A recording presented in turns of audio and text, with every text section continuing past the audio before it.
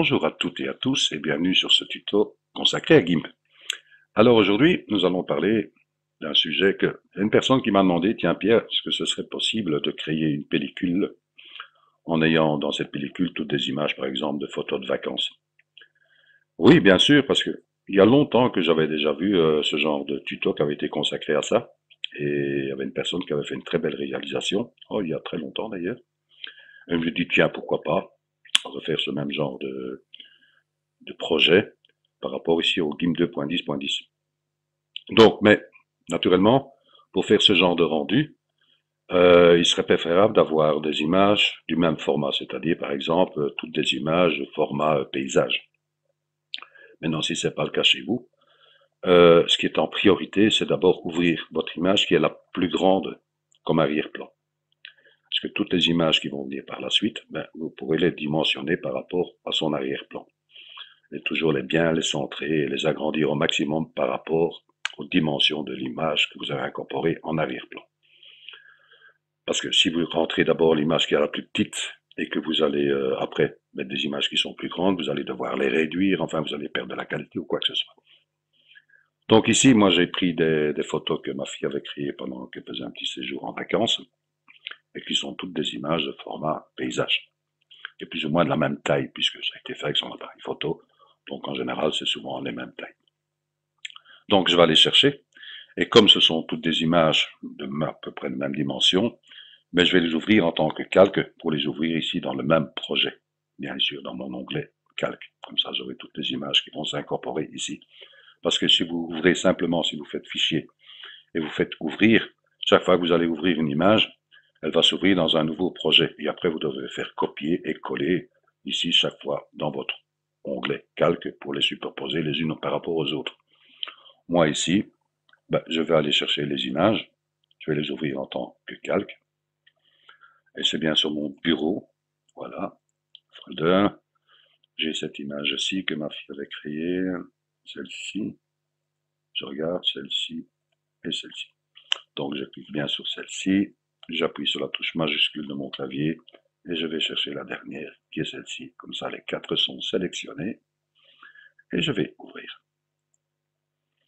Voilà, vont s'ouvrir, elles vont s'ouvrir dans le même projet. Voilà, j'ai mes quatre images. Ils sont bien ouvertes ici. Alors, je regarde d'abord ma première image, je regarde sa taille.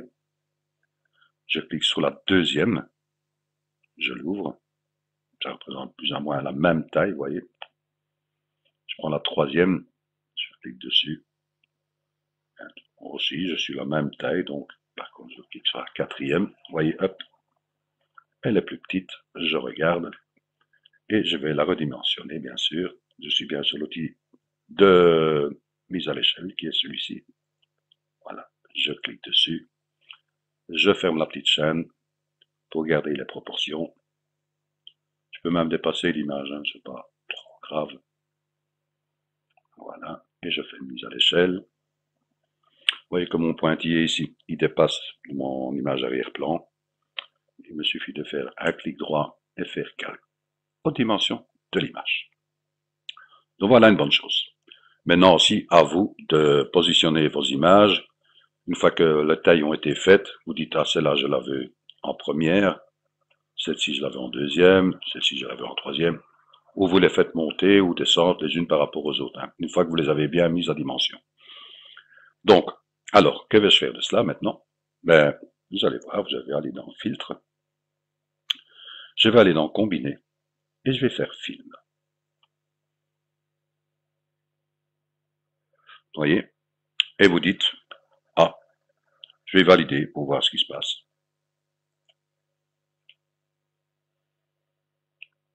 Vous voyez ici que moi ça correspond bien, parce que vous voyez ici que ma zone, elle a bien été coupée par rapport au petit, vous voyez les petits carrés ici de la pellicule. C'est plus ou moins bon, parce que euh, comme j'avais déjà travaillé auparavant, donc les mesures, elles sont regardées en proportion. Si vous n'avez pas ce genre, et ici aussi par rapport à la taille de l'image, je vais supprimer, voilà, je vais revenir sur mes projets, je vais aller dans Filtre, je vais réafficher le film, il suffit d'aller dans Avancer. Vous voyez, vous pouvez travailler ici sur l'espacement de l'image, parce que moment il était à 0,40, euh, je pense au départ. Moi, je l'ai augmenté. J'ai fait l'espace de l'image plus grande pour faire apparaître, vous voyez, le petit trou de la pellicule, parce qu'il était juste euh, à moitié, je pense, de mon image.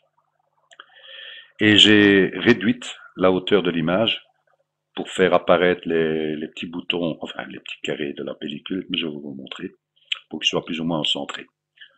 Donc, vous faites des tests, hein, vous, voyez, vous faites valider, vous regardez votre pellicule, si ça ne vous plaît pas, vous fermez l'image, vous revenez ici, dans votre projet, et vous faites de nouveau filtre, réafficher, et ainsi de suite. Vous voyez ici, j'avais euh, augmenté la, la dimension, et j'avais réduit la hauteur de mon image. Vous voyez que pour les petits carrés, ici blancs, sont plus ou moins à centrer par rapport à la hauteur, vous voyez. Donc vous faites des tests. Hein. Alors, une fois que ceci est fait, on se dit, ah, on voit ici que le titre de mon image, arrière-plan, il est mis en gras. C'est-à-dire que s'il est mis en gras, si je fais un clic droit, c'est que je dois ajouter un canal alpha, un canal de transparence. Voilà qui est fait. Pourquoi je vais mettre un canal de transparence? Ben, Tout simplement parce que vous voyez ici que les, petits carrés blancs, ben, je vais les supprimer. Enfin, supprimer. Je vais les mettre en transparence. Tout simplement. Comme ça, une fois que j'aurai un arrière-plan, eh ben, tous ces petits trous vont prendre l'apparence de mon arrière-plan qui sera derrière. Alors, une fois que ceci est fait, et comme je sais que je dois travailler sur cette image, ben, je dois vraiment changer la dimension. Mais je dois garder ici, bien sûr, ma pellicule. Donc je vais créer un calque plus grand. Ici, c'est-à-dire que je vais créer un calque en transparence, et je vais mettre une largeur de 2000. Vous voyez ici que mon image de base, elle est de 1052 sur 256 de haut. Vous voyez, elle est vraiment, euh, c'est très peu en hauteur. Donc je vais créer ici une, largeur de 2000, ainsi qu'une hauteur de 2000. Vous voyez Vous allez comprendre pourquoi. Je fais valider. Vous voyez, automatiquement, maintenant, j'ai créé un calque ici, mais il donne l'apparence de ma vignette, enfin, de ma pellicule, euh, tout simplement parce que c'était mon arrière-plan. Mais vous voyez que j'ai bien le pointillé qui représente ici le 2000 sur 2000. Donc je vais le faire apparaître maintenant, tout simplement, en allant dans Image, se bien sur mon calque que je viens de créer, Image, et je vais faire ajuster le canevas au calque. Voyez, maintenant il m'a bien donné ici, il a bien créé mon image de 2000 sur 2000. Je vais reprendre ici mon calque d'arrière-plan, qui est le calque ici avec ma pellicule. Vous voyez, si je ferme, vous voyez, c'est bien celui-là. Je suis bien dessus, je vais le faire monter pour le faire apparaître en premier plan. Voilà. Et je vais le déplacer. Je vais le déplacer ici, plus ou moins, vers le centre. Voilà. Que vais-je faire de cela? C'est ce que je vous ai dit, je vais agrandir mon image, voilà. Je vais supprimer ici tous les, tous les petits carrés blancs. Comment le faire? Ben, C'est tout simple en fait. Il suffit d'aller dans, ici dans l'outil de sélection par couleur. Et je vais cliquer avec cet outil dans le petit carré blanc. Et comme j'ai fait outil de sélection par couleur, ben, tout ce que, au moment où je clique dans cette couleur blanche, il va me sélectionner toutes les couleurs blanches de mon calque. Donc il sélectionne tous les petits carrés. Si j'aurais eu du blanc dans mes images, ben, il l'aurait sélectionné aussi. Ici, il ne prend uniquement que tous les petits carrés. Vous voyez, ils sont bien tous sélectionnés. De là, je peux aller avec mon outil gomme. Je prends une gomme dure, d'une taille 34, ici je vois. C'est bien, bien sûr par rapport à mon image que je vois que la taille de ma gomme, elle correspond bien, plus ou moins, à la grandeur de mon petit carré. Donc si je fais un clic ici à l'intérieur, il va me supprimer la couleur de mon, petit, de mon premier carré. Voyez, il a supprimé. Ici, je voyais que je suis libre ici avec ma souris. Si j'appuie sur la touche majuscule de mon clavier et que je reste appuyé, vous voyez, il me crée une droite. Voyez, si je lâche majuscule, il enlève. Je reclique, parce qu'il prend toujours en proportion ici la sélection qui est faite. Donc, je vais l'appuyer sur majuscule. Je vais aller en bout pour dépasser ici mon dernier point. voyez. Et si j'appuie sur la touche, voyez, je la mets légèrement en oblique, ma ligne. Si j'appuie en, en, restant appuyé sur la touche majuscule et sur la touche contrôle en même temps, CTRL, il va me créer une, horizontale. Voyez, toc. Et là, je peux maintenant faire un clic gauche de ma souris. Voyez, il a effacé toute ma ligne que j'avais sélectionnée. Ceci étant fait, je peux aller maintenant cliquer sur l'autre, qui est celle-ci, en dessous. Je fais un clic, touc, il a effacé. Je viens en bout, vous voyez, j'ai encore rien fait, je vais appuyer sur la touche majuscule de mon clavier. J'ai ma ligne qui se crée. J'appuie sur la touche contrôle en même temps, voilà, et je fais un clic gauche de ma souris. Voilà. Et je fais bien sûr maintenant sélection aucune. Voilà une bonne chose. Que vais-je faire maintenant? Mais voyez que j'ai mon pointillé ici qui représente ici la taille de ma pellicule. Eh ben, je vais mettre ici, faire un clic droit, et je vais bien sûr mettre le calque aux dimensions de l'image, pour qu'il reprenne la dimension de mon image qui est de 2000 sur 2000. Que vais-je faire de cela? Je vais déplacer un peu mon image, voilà. Je reviens ici sur ma première image de ma pellicule. Je vais la sélectionner. Comment je vais sélectionner cela? Je vais aller ici dans l'outil de sélection rectangulaire. Je vais créer une sélection, je dépasse mon image. Je reste appuyé toujours avec clic gauche de ma souris. Je viens plus ou moins au centre des deux images, voyez. Plus ou moins, hein, voilà. Voilà qui est fait. Je peux encore jouer avec son bouton de commande ici pour me rapprocher de l'extrémité gauche de mon image. Je fais un clic. J'ai une sélection qui est faite. De cette sélection, je vais ici aller dans l'outil de mise à l'échelle. Oui, je vais faire un clic dans ma sélection. J'ai ma chaîne qui est fermée, je vais l'ouvrir parce que je ne vais travailler que uniquement sur la largeur et pas sur la hauteur de mon image. Donc en étant ici je vais tirer mon image. Voyez, je vais bien la tirer, voyez. Je la tire, je regarde. Voilà. Disons que je suis satisfait comme ceci. Je me dis, ma pierre, qu'est-ce que tu fais? Vous allez voir pourquoi j'ai fait cela. Vous voyez la dimension que j'ai prise. Vous voyez, j'ai vraiment doublé ici euh, mon image de base. Vous voyez, là, je parle de la mesure. Hein. Vraiment doublé et même euh, plus que nécessaire. Ceci étant fait, je vais faire une mise à l'échelle. Vous voyez, j'ai ma sélection qui est faite. De cette sélection ici, maintenant je vais aller dans l'outil de déplacement. Vous voyez, parce que je ne suis pas contre mon image en fait. Hein. Vous voyez, je suis, je vais encore l'avancer un tout petit peu.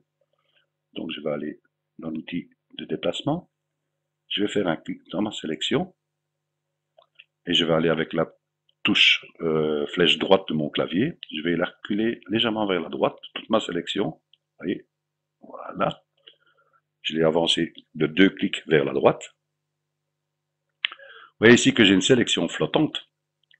Si de cette sélection flottante, je crée un calque, ben, il va être indépendant de mon arrière-plan. Non, je veux simplement l'ancrer dans mon arrière-plan pour que ça reste toujours ma pellicule. Qu'un seul calque pour cette pellicule.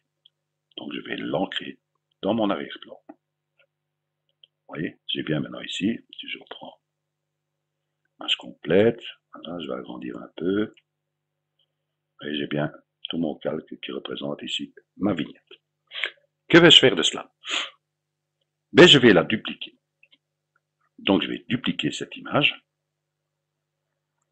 Voilà, elle est bien dupliquée. Je vais aller dans l'objet ici, l'outil de retournement je fais un clic. Vous voyez que j'ai vertical, je cloche bien vertical, je fais un clic à l'intérieur. Mon image retourne, vous voyez. C'est bien celle-ci qui est retournée, vous voyez. Je vais la déplacer.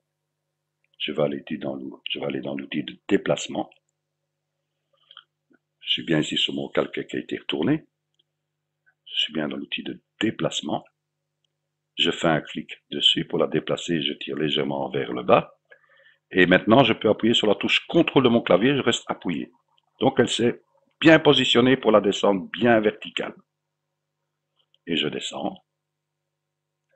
Je descends et je vais dépasser un peu mon calque et revenir dessus pour laisser un très léger espace entre les deux. Vous voyez? Très léger. Voyez?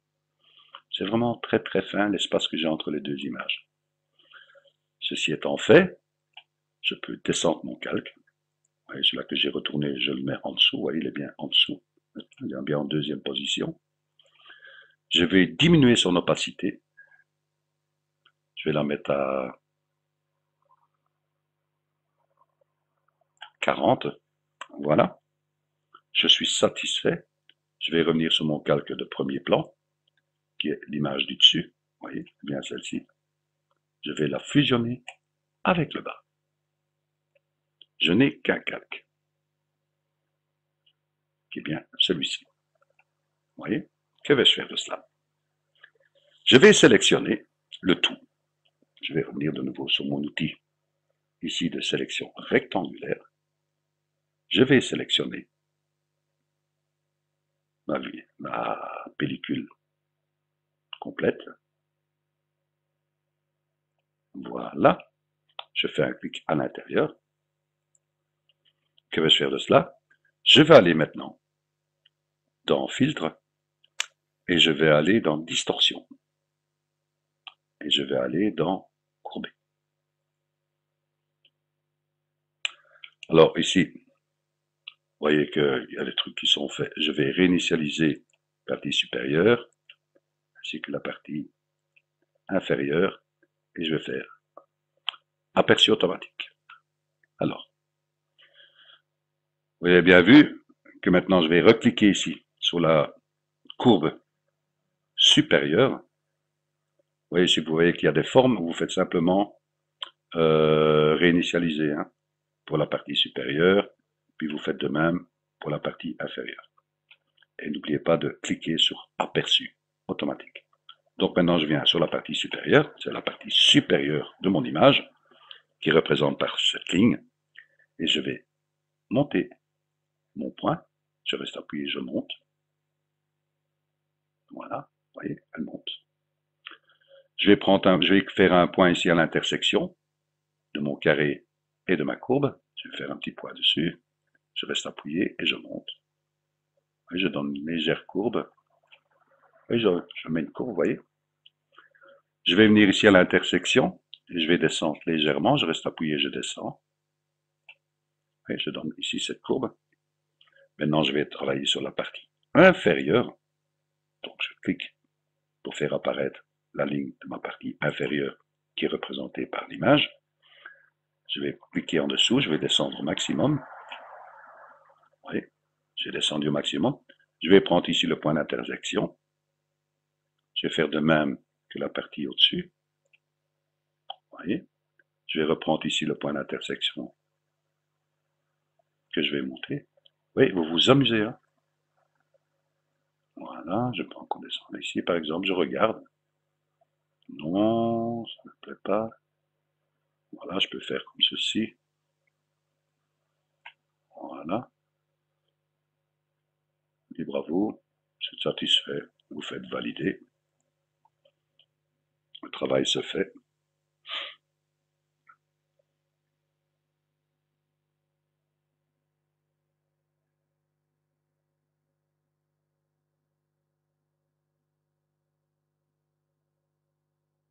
voyez Une fois que je suis satisfait, je peux créer un calque de cela. Parce que si je l'encre, ce que vous allez voir que le calque qui est en dessous, c'est le calque qui n'a pas été travaillé. Vous voyez ici la petite vignette qui est là, vous voyez le, la pellicule, vous voyez si je la ferme. Donc c'est bien celui-ci que je vais créer un calque. Voilà. Et celui-là qui est en dessous, vous voyez, c'est bien celui-là, vous voyez. Celui-là, je n'ai pas besoin, je peux supprimer. Pas oublier de le cocher, hein, de dessus. Je peux le cocher. Donc maintenant, je vais réduire ma, fenêtre. Vous voyez ce que ça vous donne? Ce sont des exemples à vous, à vous de travailler avec les courbes. Vous voyez pourquoi j'ai allongé mon image, qui était la première image, parce que justement, comme elle lui donne une courbe, automatiquement, elle la fait réduire. Vous voyez le, pourquoi nous avons allongé cette image? Alors, maintenant, nous allons bien sûr créer un arrière-plan. Donc, je vais mettre ici, voilà mon image à la taille de la fenêtre. Je suis bien sur mon arrière-plan. Je vais cliquer ici sur la couleur blanche. Je vais mettre un, gris léger, voilà. Pas, blanc, euh, blanc, blanc. Voilà, un léger gris. Et noir comme arrière-plan. Je vais prendre mon outil de sélection de dégradé. Je suis bien du blanc vers le noir. Et je suis bien en linéaire. Je suis bien sur mon calque d'arrière-plan. Je vais cliquer ici au-dessus. Je descends. Je reste bien vertical, voilà, j'appuie sur la touche contrôle de mon clavier. Je peux descendre ici, mon point, faire apparaître plus le blanc.